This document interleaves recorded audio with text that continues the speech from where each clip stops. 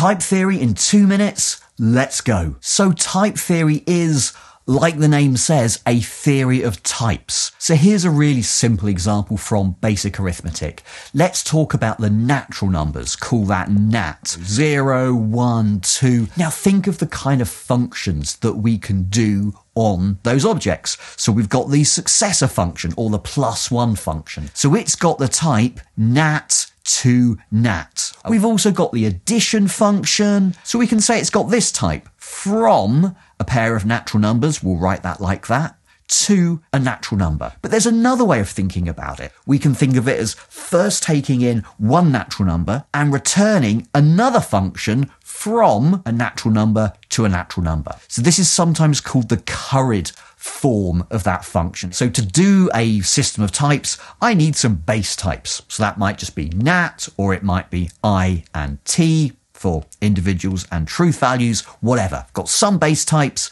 and then we have a recursive definition. Whenever I've got two types, I can put an arrow between them. So alpha to beta is going to be a type. Sometimes you'll see this written like this without the arrow, and we're going to think of things of that type as basically being functions from alpha type things to beta type things. Here's an example from linguistics. We've got the type of individuals, so like people, let's say, we'll call that I, and we've got the truth values because in linguistics, ultimately we want to evaluate sentences for their truth. So we've got the type T of truth values. So we've got this name, Anna, that's going to denote an individual. And then we've got this verb sings. It's going to be of type I to T from individuals to truth values. A transitive verb, a two place predicate like likes, okay, X likes Y, we're going to do the curried version. It's going to take in one individual and give us back another function from individuals to truth values. So it's going to be of type individual to individual to truth values. We can start combining those words into meaningful sentences. Likes Anna,